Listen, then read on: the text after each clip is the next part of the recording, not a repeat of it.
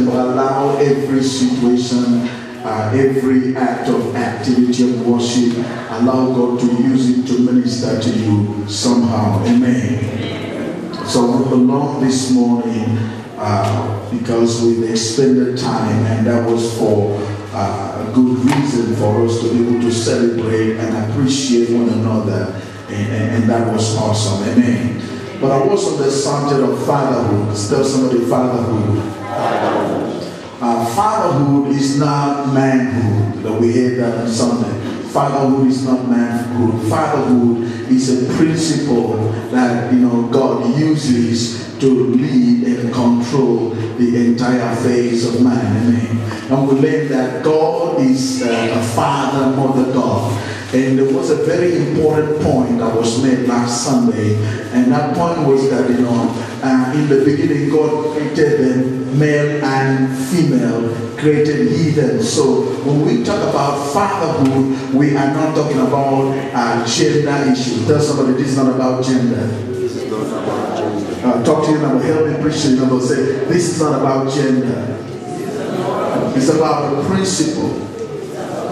So fatherhood is not about a gender because some of you single mothers are fulfilling, uh, you know, the, the role of fatherhood. Amen. So most single mothers, single parents, they do that. Sometimes they fail in doing that, not because they choose to fail, but because they do, they do not just understand that it's a principle. Praise the Lord. Amen. And we and last Sunday we realized that when fatherhood is in jeopardy, there is uh, so much of a problem. We read in the book of Genesis, chapter uh, number nine, about verse twenty, where the Bible says Noah, the father figure. Now you know David was a father figure, had drunk of wine and got drunk and woke up and bring a curse. So when the fatherhood is dysfunctional, it brings a curse. Fatherhood when it is dysfunctional brings a curse. And I, you know, I want, I want you to really have that in the back of the mind because this is not a, a topic about men. It's not about men now. And sometimes we cannot talk about fatherhood without having to deal with men. Amen. Because men actually, in some kind of sense, when it comes to the home setup, are supposed to, you know, provide uh, the, you know, fatherhood covering. Amen. Um, but sometimes men in the house are only men. They act based on manhood, not fatherhood. Oh, come on now, now. You need to, I need to make sure you understand before I move on. Sometimes men act as men in the house, not as fathers. You can be a man and may not be a father. You can be a woman and be a father. So fatherhood is in every creation, male and female, because we learned that from the Bible. That when God created man, He created the male and female. It was two in one in Genesis chapter 1, verse uh, 26. About that, go down. God created man, you know, male and female, created heathen. And in Genesis chapter 2, we find out that God said, now it was not good for man to be alone. Even though he created them, you know, he was two in one. So God caused a deep sleep to fall on man and perform a surgical operation and take the woman that was already in man, the female that was already in the man, and separated them for company. And I went on to say that, you know, that should explain the point whereby the woman is close to the man. It's not a sign of weakness. You're not liking me this morning. So that if you get married and, and, the woman is closer to you, it's not a sign. And that's why, you know, uh, to, to men, women look vulnerable because they always are after men. No, that's not the case. They just belong to the right place. Tell somebody they just belong to the right place. Because the woman was taken out of the man. So, and when God did that, the way of making man complete whole again was to create a woman. So that's why the Bible says it's not good for man to be alone. So whenever a man is operating alone, is incomplete. Ooh, they're going to leave the church. Help me close the door. I said that last Sunday, the brother shut it. now, now that, that's that's it's not me. Tell someone it's not Pastor Mishael. That's the Bible. I'm not the one who said that man should not be alone. It's not my idea. Tell somebody it's not my idea. It's God's own idea. Oh Lord Jesus. Yeah, and then that man looks like he's hungry. Can I have a real man? Okay. Now, now, now, see, see, that's that's that's that's the way we when we have that understanding, the entire society is gonna change. It's gonna change. So we see uh, last Sunday, I'm just trying to feed you in. Last Sunday we saw manhood, I mean fatherhood as a source of authority. And we read in the book of Romans that there is no authority, there is no power except God set it up. So when God set up an authority, a fatherhood is a, a principle of authority where we all connect to. Authority when we connect to brings blessings. So this morning briefly, I just want to look at fatherhood as a source of blessings. Those about fatherhood. Because we saw fatherhood the other time uh, in the book of that Genesis being in jeopardy and Noah being drunk and placing a curse and lying down naked. And we define a state of drunkenness not just being of wine, is a state of confusion. When there is no, when the principle of fatherhood is not understood, there is confusion that eventually brings a curse. You don't see how he cursed his grandson. Because when fatherhood is confused, it exposes nakedness. And I went on to say this. I want to emphatic on this. That is, should there shouldn't be any point in time whereby you expose your children to your, you know, stupidity.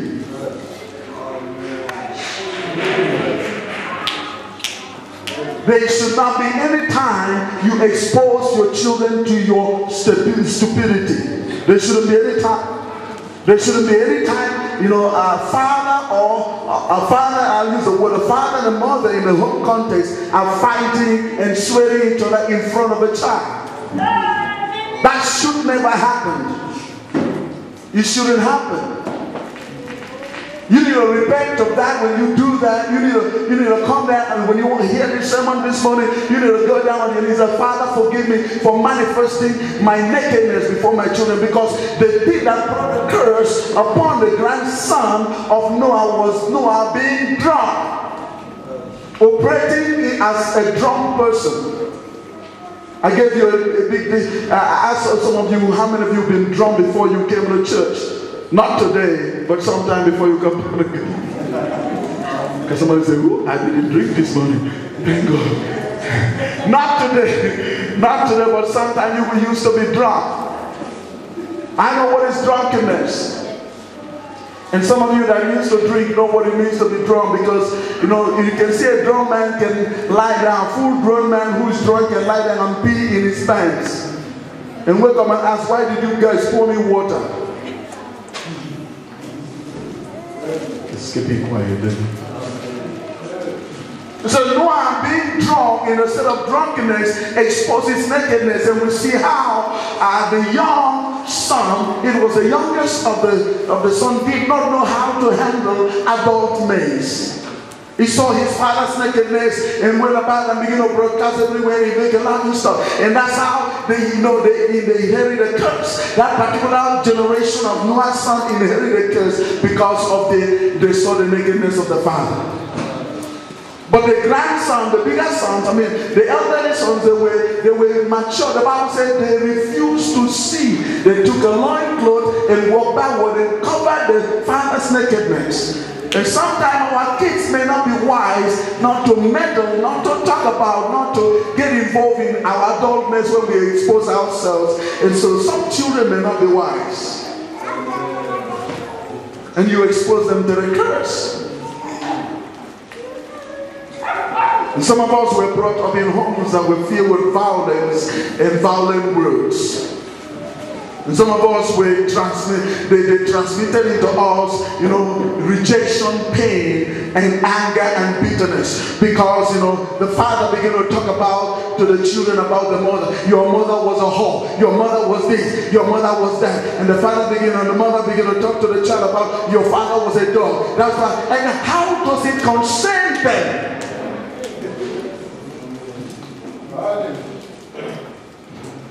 So you should not transmit those viruses from your mates to the next generation. Leave them innocent. Tell somebody, leave them innocent. I don't have a chorus response this morning. But that is the truth of what we go through. And so the Bible says something like this.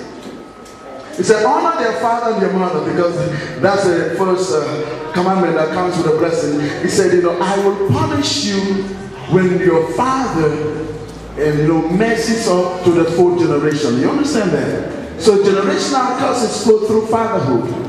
When the authority messes up, God punishes. And in the same way, now, now, now, I'm not excited about that. The same way the punishment flows through the generation. You know, when you read the Bible, you know, you know, you know, generational curses supposed to stop after four generations, but generational blessings is ten generations. So if you do something right before God, God rewards your generation for ten generations. Amen. So that's that's fair. Tell somebody that's fair. That's fair. That should encourage me to do something that is right for my generation. So we always talk about generational curse. We do not talk about generational blessings. Because it is generational blessings all flow through the Father. And now remember, in the context of what we're talking about today, the fatherhood is not man.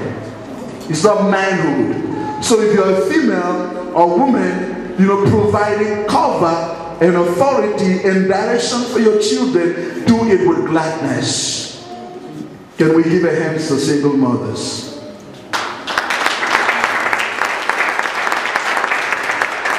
And sometimes you don't know what it takes to be one. I'm happy for you.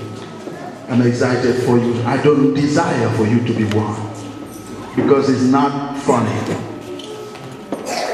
Amen. It's not funny. Blessings. Fatherhood as a source of blessings. That's, that's the most important thing that I want to talk about this morning briefly. Let's look at the book of Genesis. Let's look at it. Every time you want to understand certain principles, you start from the book of the beginnings. Hallelujah. Hallelujah. Genesis chapter uh, 27. Genesis chapter 27.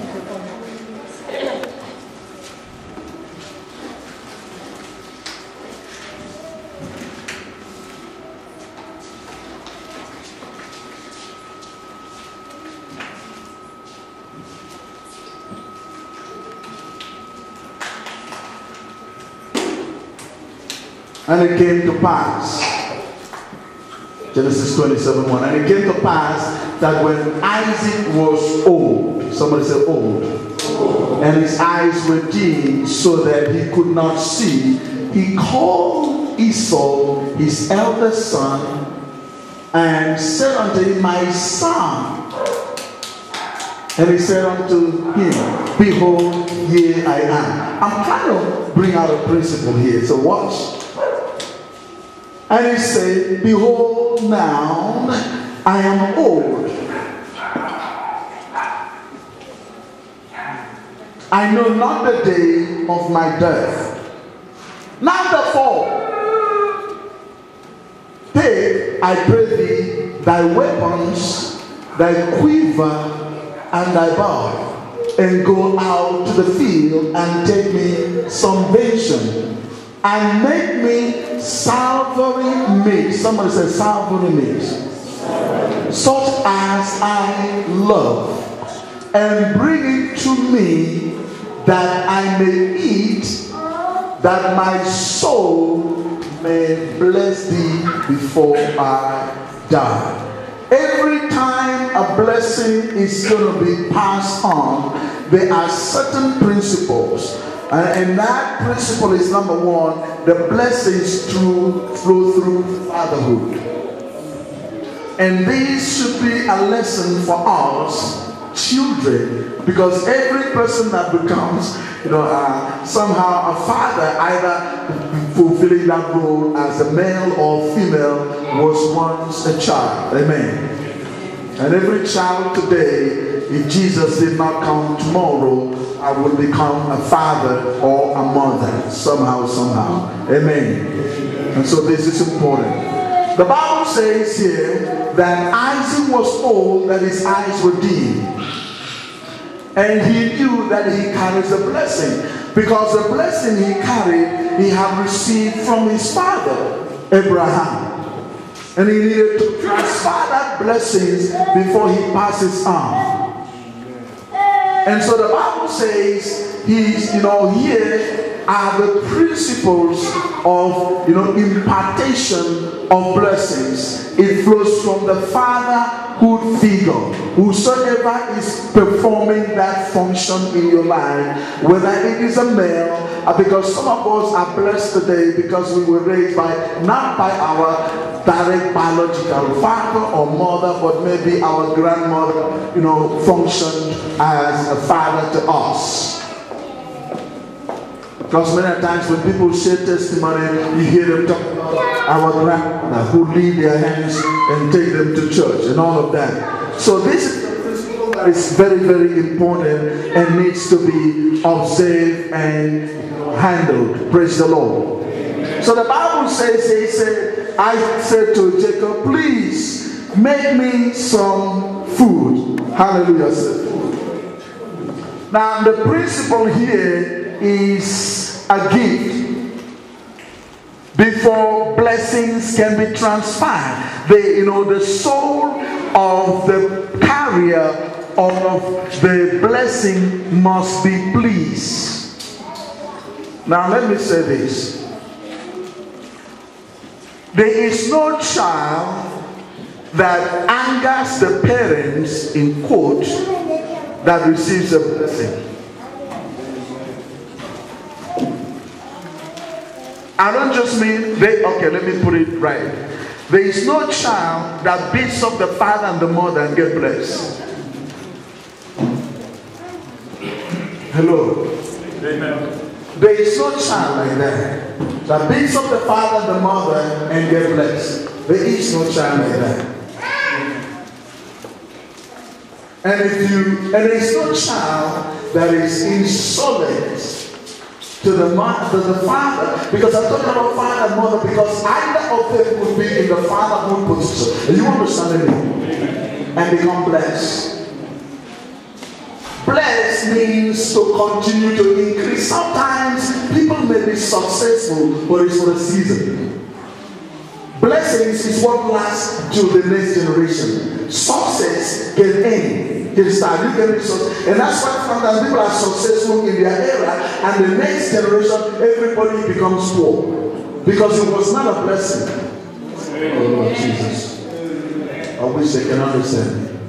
It was not a blessing. So I, I was successful in my days. But you know, and people could point and say, look, that family they used to be. But the way they are now, it's like they never, there was any, never any rich, riches or in that family. Have you seen family like that? Because it was not a blessing, it was a success. I could be successful in my area because if, if, I, if a blessing is what flows through the generation. So when when uh, Isaac asked for Esau to bring something, uh, made his glad which was what he used to do. He said, Bring me the time that I like. It was not some, uh, it was not a one-time event. Tell somebody, it wasn't a one-time event. The Bible says that the man, they bring me uh, some, make me something such as I love. He knew and bring it to me. That I may, he knew it. There was a continuous supply of, you know, of, of continuous pleasantness from the heart of the Father. Help me. There was a continuous drum, no pleasantness, you know, pleasing the heart of the Father. It was not just a one-time event. It wasn't a one-time event, it was something that was continuous. So the man said, at this point in time, I am about to release a blessing. So bring something that will ignite my soul. That the blessing can be transpired. There is no person who would come to you. No, no, no, no. You gotta understand it. You cannot be in conflict with your boss 24 hours in your office and get promoted in the next time. You cannot be fighting your boss in the office and then he writes a letter of promotion and say, Well done. How many of you have those kind of boss? No, every time you, you, you people are, and look ahead with your boss. When you see him, here he comes. He makes his office as if his home. He's the owner of this company. He's employed like me. How many of you have people You are in conflict. He's employed like you, but he's your boss. He's employed. They, you know, remember. The Bible said this. So now, he, he comes. He thinks that this is his father's house. He takes everything for himself. And you're in conflict with him. And he knows. And you expect him to write a recommendation for your promotion. Is that possible? If he writes anything, it should be for your dismissal. If he was asked to write anything, it should be that you know your job is over from today this. And how in the world do we operate with that principle and expect blessings? Because that's the same principle we operate. We operate the same principle at home. We operate the same principle in office. We operate under the same principle in the church.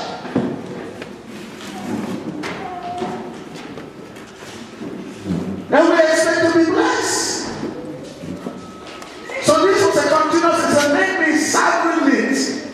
that I may eat that my soul blesses you. Hallelujah. Amen. Hallelujah. Amen. Now that is the principles for the blessings of flow. See, see, I was, I was trying to make some, uh, uh, bring some example from our society. You can see a poor family in this generation, but you can see if the children in that family are submissive, obedient to their fatherhood, whether I'm talking about fatherhood in the, in the context of this principle here, and you find out that they will migrate from poverty to wealth in the next generation. The, the father and the mother were poor. They could not do anything. They even said that happily did they finish matric. But from that matric, they become millionaires. And you have this one who finished a master's degree and not become anything. Because there was no blessing transferred. Because the blessing, success can come with education. Blessings comes from the Father.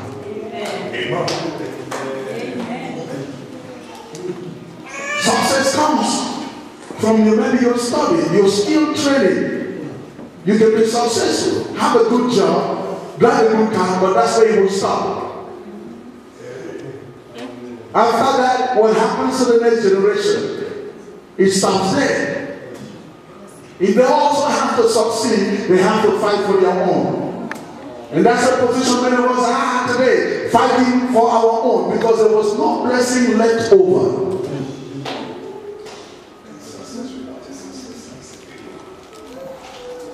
Many you still love me?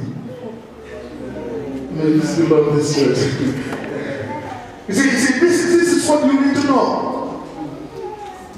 And, and, and let, let, me say a little bit, you know, uh, because I've been praying on this and asked God to help me. Uh, I might not get a lot of friends, but you know, uh, I will still have you know people who love me at the end of the day. Now, if you you cannot bring the principle, principle of fatherhood is first of all authority. Tell somebody enforce authority.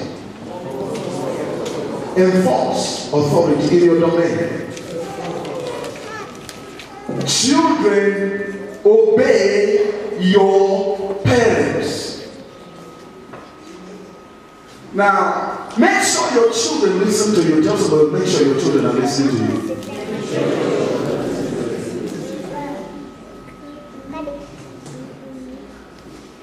Because you will do them a world of good than ask them, nah, ask them, you know, you know, I didn't say this is bad, but I, I, I just don't understand how children detect what I cook in the house. What are you people going to eat today? KFC. I'm going to be around your home like that. So the children tell us we're going to eat KFC, so we eat KFC. No, we don't want KFC. We want no, you, you know, fatherhood is an authority. It decides. It's decisive. I love my children. But you know, they are not to be dictate for me. Hello? Amen. If we're eating, eating chicken feet today, they will be glad. That's what we're eating. Is what do you call it? Mautoir. thank you, thank you. If we're eating mautoir, mautoir, Everybody is excited. There's nobody that can say, eh, eh. because it's a principle. Hello.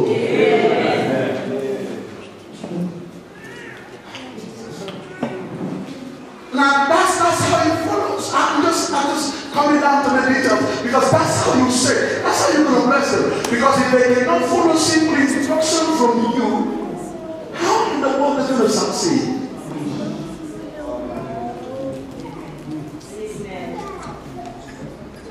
How in the world is going to succeed?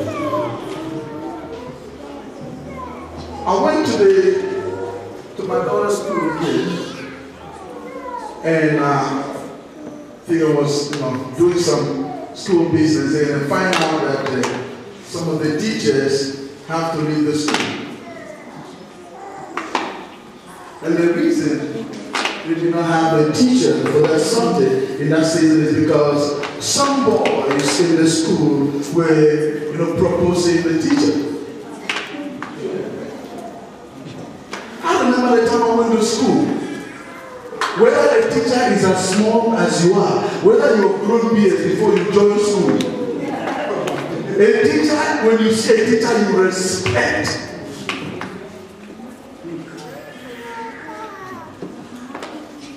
you respect the teacher. It was whether it is female or male. So I am wondering which kind of environment will breed because I don't think that there is anybody in that school that is up to 24 years. But I know that if, they, if you're going to go to school and graduate and and then go to teachers college and then you get a certificate to come and be teaching in a school, you must be more than 20 years. So I don't see a teenager, a 14 year old, coming to propose because and touching the teacher until the teacher run out of the school. Não, não quero virar.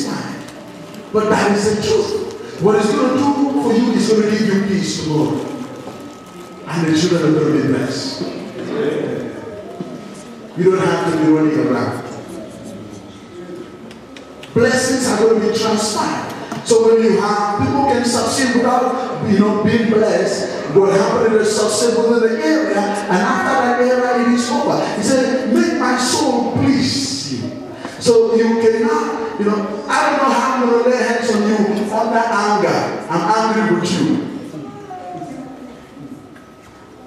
Lay hands on you. I'm angry. Hello. Amen. How's it going to go? How's the blessing going to translate? If the child becomes a source of pain continually, if when a child becomes a source of your sighing, you look every time you're in pain, you may not. You see, you don't have you don't have to open your mouth and say, "I curse you." But the pain in your soul that the child is cursing you is making you go through is what is going after him or her. So he said, let my, let my soul to be glad that I will bless you.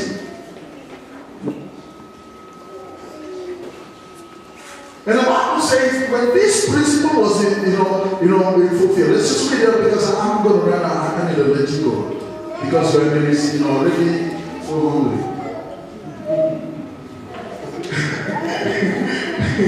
your, your enemy is saying, Pastor, close. When he says it's time for closing, I'm going to close it a while. But let me, let me run you through this quickly because, you know, I want you to be blessed. And not only you, whosoever is under you must be blessed. You must be a source of blessing. Hallelujah. That's what I You must be a source of blessing. That's what it is. You must be a source of blessing. So the Bible that you know the wife of Isaac heard this plan. And uh, you know, God, I mean uh, Isaac wanted to bless a senior son who perhaps from this story inductively was always the father's boy. And Jacob was the mother's boy. Hello. See, uh, you see the picture. Because Isaac said, he said to him, as you used to, that type that I like. So Esau was used to, you know, making the soup for the father. Even the father is from the wife, but Esau was close to the firstborn. He said the time I used to like. And what happened was that, you know, when the wife heard this, the Bible said he went in and prepared the soup. And they had on Jacob plastic surgery. Jacob was not a hairy person. The Bible says Esau was hairy. You know the story? How many of you know the story? So you can keep reading from the scripture. So uh, I'm telling you what it was. Now Esau was hairy. He had hairs on his hands He was a hairy person. But you know, Jacob was plump, no hair, smooth skin, mother like. And the Bible says when they did all of that, you know, they bring the food. When they brought the food, uh, Isaac, his eyes being dim, uh, because now, now, the, the, the import of this scripture is this that you know it does not mean that you have to see for the blessing to be transferred. The blessing is transferred from within, not from the physical. So even though his eyes was dim, the Bible says he tried to make his search to find out because the voice is like the voice of who? Jacob. So he was not double sure because once he received, there has to be an impartation. So he was not double sure. So he said to uh, he said to this fellow, "You sounded like Jacob. Are you sure you're Esau?" Said that I'm Esau. I tried to make a voice. I'm Esau. So okay, come a little bit closer. I'm not sure that voice. Bring your hand. Nah, bring your hand like this. okay. Thank you. And the father did something like this. So, well, it looks like that is his Esau's hand there. And he still wasn't sure. Because the Bible says Esau was a hunter. And his body perfume, he was using axe for roulette. Hello. Amen. He was using, is there, is there anything like axe? Yes, please. Is there is? Yes. Ah, thank you. Because I thought I saw it in the supermarket. Axe. What is your brand?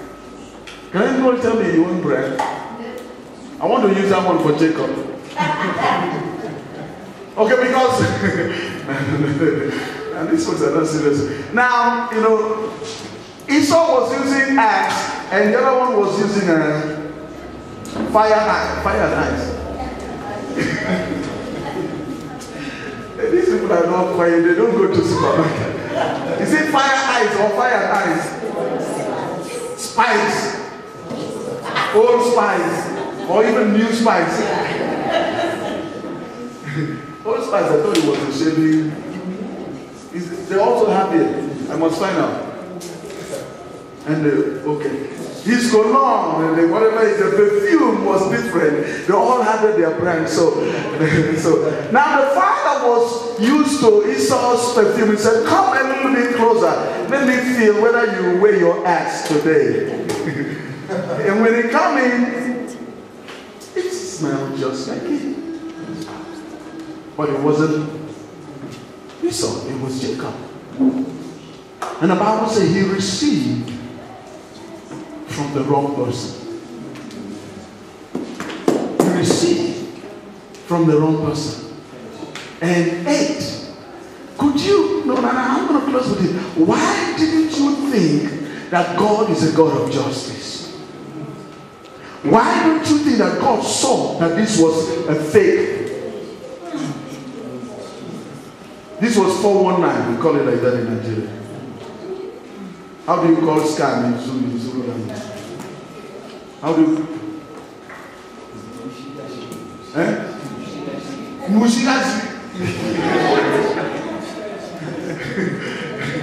Whatever it is. Why didn't God judge it? How many of you are here? I thought that God should judge this matter because God sees. God should judge that this is a fake thing. This guy is fake. He's deceiving his father. But you know what? Because fatherhood is not about male and female. Fatherhood is a principle. In a principle whereby the blessings flow. Once that principle is fulfilled, whether by a righteous or an unrighteous person, the blessing stays.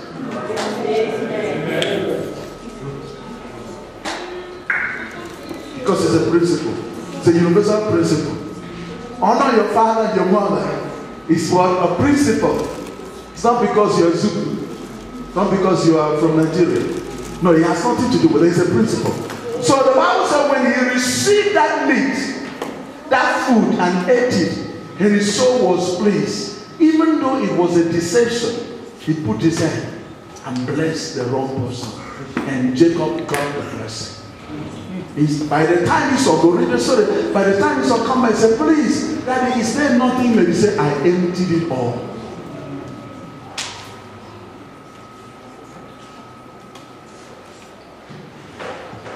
A bottom line, I'm closing with this. A bottom line is, how many of you received a blessing growing up?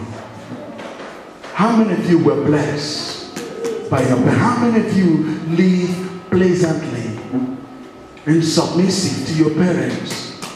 That even if they did not open their mouth, you were blessed. How many of you understand that is the same principle that is applied spiritually? That when you come to church and there's a father in the house, you need to be able to align yourself to get blessed. Because it's the same principle. God is a God of order. God is a God that the order authority flows from God. And now, the last question I want to ask you if you have not been blessed, if you were caught up in the mess by your parents, you can still be blessed. You can still be blessed. That's why God set up spiritual fathers so that they can be blessed. God set up spiritual fathers so that if we miss our blessing through the early, you know, fatherhood, we can reconnect to our blessings through Christ Jesus. Hallelujah. So you, if you miss it, now there is nothing to lament about. I wish my father, if I know this, my father would have blessed me, and your father died in 1930. There's nothing you're going to do about it. That means it does not mean your future is done and over. You can reconnect. God always provides a spiritual fatherhood to complement that which is missing in your life. And that's how you can reconnect. And I stand, I, am not, I'm not, I did not make myself this. God put me in that position in this assembly to be a source of blessings to you. So I have the mandate to speak blessings over your life. I have the mandate to reconnect you with your lost blessings. But that is based on you. That is based on you. That is based on your recognition. That is based on your acceptance. And that is based on understanding the principle. But if you say this, this, this Nigerian, I don't even know, he doesn't know where he come from. He say sometimes he thinks American, sometimes he thinks Nigerian. If that's where you are, you see me.